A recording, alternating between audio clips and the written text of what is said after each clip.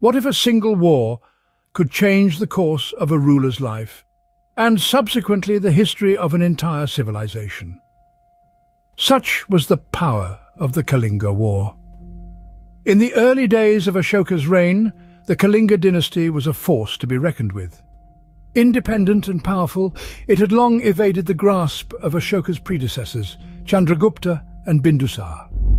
However, in the eighth year of Ashoka's rule, around 261 BC, the tides of power shifted.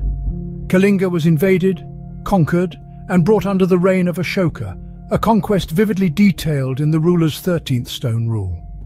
The Kalinga War was a brutal affair. Over 100,000 lives were lost, and a staggering one and a half million people were exiled. An equal number suffered injuries, fell ill, or starved in the war's dreadful aftermath. The impact of the Kalinga War was not confined to the battlefield.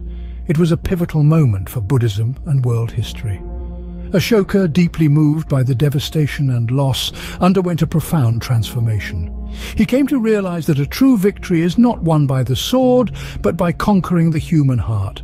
Thus he laid down his weapons, turning instead to a path of peace.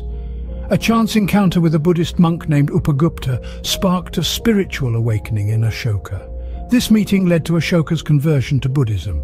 From then on, he dedicated his life to winning over hearts with truth and non-violence. Now, let's rewind a bit. The Kalinga dynasty, originally covering the area of present-day Puri and Ganjam districts, was prosperous and peaceful. Their prowess in naval technology and their artistic talents contributed to their cultural and economic growth. They controlled the coast for trade in the Bay of Bengal, which was a strategic advantage. However, their prosperity was a thorn in the side of the Mauryan Empire.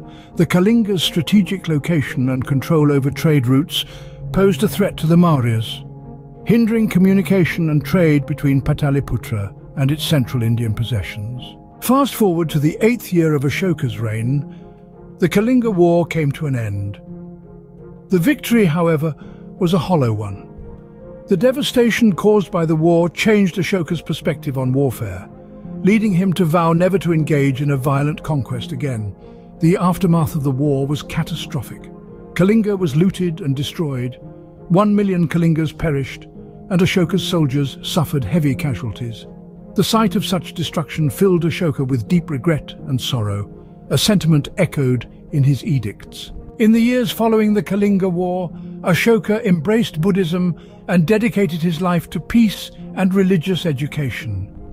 His reign marked a significant turning point in the history of the Mauryan Empire and the world, leaving a lasting legacy that continues to inspire to this day. The Kalinga War serves as a powerful reminder of the devastation that war can bring and the transformative power of peace. It is a testament to the fact that true victory lies not in conquest, but in the hearts of the people.